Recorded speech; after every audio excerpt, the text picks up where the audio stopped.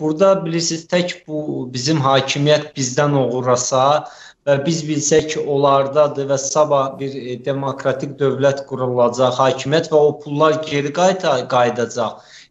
Dözərik ki, 3 il, 5 il onsuz da bunlardan pulumuzu geri alacağıq. Dərd orasıdır ki, bunlar bizdən oğurladıqlarını aparırlar, qoyurlar Avropa, Amerikaya, sonra özləri onların girovuna çevrilir. Sonra özləri o pulun girovuna çevrilir və sabah hakimiyyət dəyişəndə Avropa, Amerika deyir, məndə pulun filan yoxdur. Ged acından öl. Hanı nə pul, nə offshore zonası filan. Yəni heç olmasa bu bizdən taladıqlarını burada tiksələr, burada zavod, fabrika açsalar, lap öz adlarına. Biz bilərik ki, pul burdadır. Bugün baxın, e, Venezuelada Maduro'nun əlindən pullarını e, Amerikası, Avropası vermirəm. Xalqı çörək ala bilmir. Yəni o hələ dövlətin adına olan puludur, Maduro'nun şəxsi pulu deyil. Yəni bəy bu gələcəyə baxanda insan dəhşətə gəlir. Bilirsiniz bizə bir də bu pullar nə vaxt gələcək, necə gələcək? Bu daim belə gəlməyəcək. Neft tükənən bir təbii ehtiyatdır. Yəni neft tükənməz deyil. Sabah neft tükənə bilər. Özümüz artıq neft ixal eləmərik, ya ixrac eləmərik, ya neft ixal eləyərik. Yəni neft alar. Onda nə edəcəyik?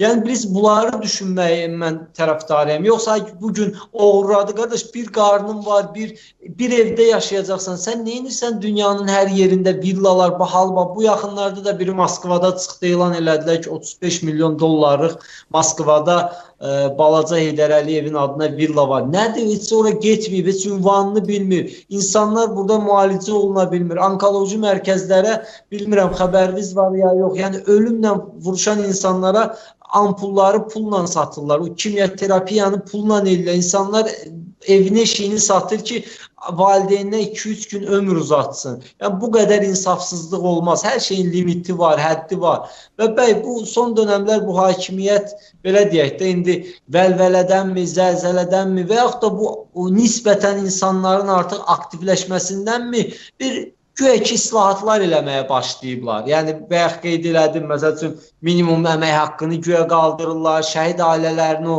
3 aydır küçələrdə döydükləri, söydükləri şəhid ailələrinin 11 min manatını verdilər.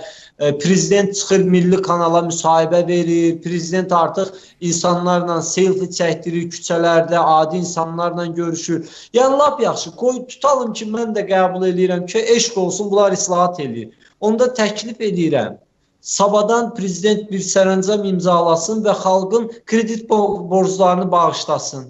Yəni biz də belə İslam bizim arqumentimizi alsın əlimizdən. İskəndər bəylə mənim burada çıxıb sözümüz olmasın. Biz o kredit borcu olan insanları müxalifətə cəlb eləyə bilməyək. Desin ki, qardaş, bütün kreditlər e, biz bağladıq, dövlət hesabına bağladıq. Zaten o kreditlərin, bankların sahibləri də özləridir. O soyğunçu faizlərin sahibləri də özləridir. Arxasınca bir fərman imzalasın ki, bütün gənc ailələrə e, real ipoteka şərtlərindən aylıq belə deyək də bu kirə haqqından evlər tikib verəcək. Necə olur ki, Sovet dövründə neftimizin 20% bizə qala-qala hamıya ev verilirdi, amma indi neftin 100% güya bizə qalır.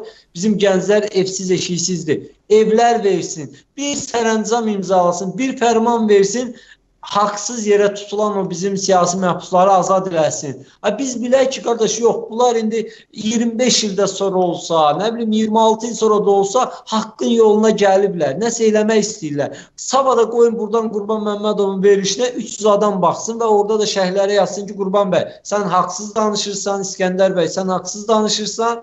Bu hakimiyyət işləyir, iş görməyə çalışır, iş yerləri açır, insanların dərdinlə maraqlanır, tələbələrlə maraqlanır. Tələbə gəlir Bakıya oxumağa.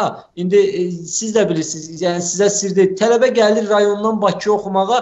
Bir ay sonra tələbə artıq dərsə gedə bilmir. Məcburdur iş axtarır ki, kirəyə qalmağa pul tapsın, yeməyə pul da. Bir tələbə yataqxanası yoxdur ki, tələbə dərsini oxusun. Yəni bəy hansı sahəyə biz əl atsaq baxırıq ki, bərbad gündədir. Başlamısan, deyirsən islahat eləyirəm, lap yaxşı, elə.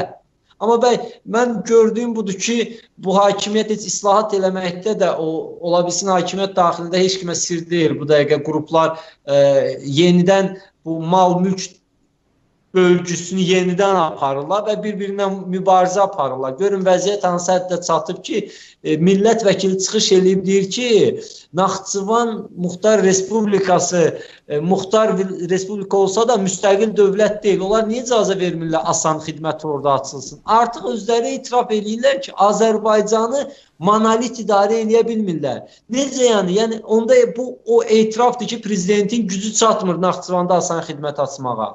Demək Naxçıvan ayrı dövlətdir, Quba, Qusar ayrı dövlətdir, Qazax, Gəncə ayrı dövlətdir. Yəni bir xanlıqlara bölünmüş bir halda budurmu monolitlik, budurmu dövlət? Yəni bunlar özləri hələ ifşa edir. Biz mən nə demirəm. Baxın bu gün millət vəkillərinin müsahibələri var. O Naxçıvandan bunları təhdid edirlər, bunlar Naxçıvandakıları təhdid edirlər. O icra başçısı bu icra başçısını tanımır, bu icra başçısı o icra başçısını tanımır. Yəni bunu biz demirik. Bu düzəldin, düzəldin, savadan düzəldin. Müxalifətin işi zaten budur. Yəni tənqid eləsin, məcbur eləsin və hakimiyyət addımlar atsın.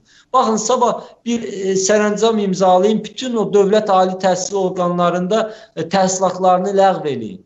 Qoyun tələbələr oxusun, insanlar təhsil haqqı dərdi çəkməsin. Pensiyaları normal qiymətə qaldırın, iş yerləri açın. Qoyun bizim sözümüz olmasın. Yenə deyirəm, ey bəy, bəzən çıxıb deyirlər ki, müxalifət hər şeyi qapqara görür, heç müsbət halları görmür, filan eləmir. Qardaş, mən görmək hazıram. Mən sabah buradan bəyanat öz adıma deyirəm, yəni Tural Abbaslı olaraq sabah prezident İlham Əliyev bir fərman imzalasın, ət fərmanı imzalasın, siyasi məhbusların hamısını azad eləsin, mən sabah şəxsən çıxıb təşəkkür edəcəm. Yəni bu müsbət addımlar atın onu da deyək. Amma biz neyniyək ki, hər tərəfdə problemdir. Hər yerdə bu gün bir vətəndaş sən gəlib e, sizin də burada Azər Freedom'un daimi izləyicisidir və xahiş edib sizin anonsdan bildi ki, mən burada çıxış eləyəcəm və xahiş elədi ki, səsləndirim.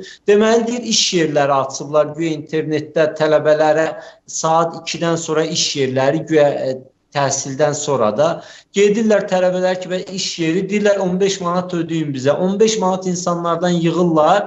İndi kimlərdirsə, dələduzlardır, nələr. Sonra deyirlər gedin gözləyin biz sizə xəbər verəcəyik. Biz sizə otlar verəcəyik. Bunları gedib təbliğ eləyəcəksiniz. Sonra nəsə, yəni baxın o qədər işsizlikdir ki, insanlar ən adi belə dələduzların tələsinə düşür.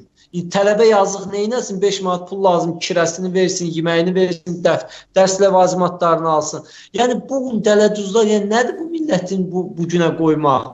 Odur ki, bəylər, e, əgər hakimiyyət istəmirsə ki, məsəl üçün deyək, AXH güclənsin, Azərbaycan Xalq Hərəkatı e, regionlarda üzvlərinin sayı artsın, bunun üçün maşınların qarşısını kəsib İskəndər bəyi, Rəhim bəyi bölmələrə aparmaq lazım deyil. Bunun üçün həmin regionun problemini həll elə. Həmin məsəl üçün deyək, e, Gəncənin problemini həll elə, qoy biz ora gedəndə bizə desinlər, qardaş, naxaq gəlmisiniz. Burada hər şey yaxşıdır, biz dolanırıq. Burada gəlib müxalifətçilik eləməyin. Məsəl üçün deyək, buyurun eləyin. Biz nə deyirik ki? Amma təəssüf ki, bəy, bunlar eləmirlər, əksinə bəhanə axtarırlar. Adi e, bir nüansda qeyd edeyim. İndi biz nə qədər də Mustafa Hacbəyliyə bəy 5 il 6 ay iş veriblər. Bilirsiniz ittiham şey nədir? İttiham maddəsi nədir? Bunun yazdığı yazını kimsə oxuyub evdə.